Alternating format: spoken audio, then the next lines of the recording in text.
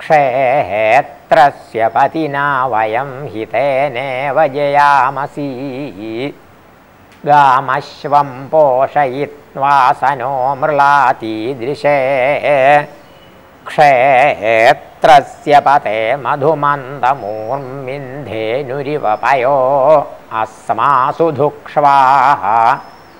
मधुश्च्युतं घृतमिव सुपूतमृतस्य न പതയോ മൃളയന്തൂ. മധുമതീരോഷധീർദ്യാവ. ആപോ മധുമന്നോ ഭവത്വന്തരീക്ഷം. ക്ഷേത്രസ്യ പതിർമധുമാന്നോ അസ്തവരിഷ്യന്തോ അന്വേനഞ്ചരേമാ शुनं वाहाः शुनन्नरशुनं कृषतुलाङ्गलम्।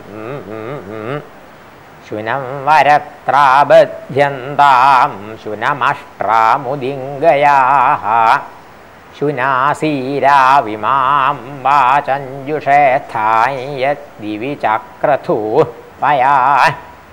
तेने मामुपसिञ्चतम् अर्वाची सुभगे भवसीते वन्दामहे त्वाः। यथा नः सुभगाससि यथा नः सुफलाससि इन्द्रः सीतान्निगृह्णातु तां पोषानुयच्छतु।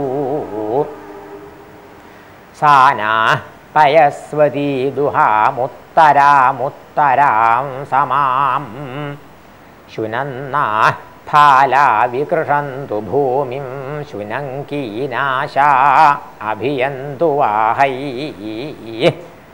शुनं पर्यन्यो मधुनापयोभिः शुनासीरा शुनमस्मासु धत्तम्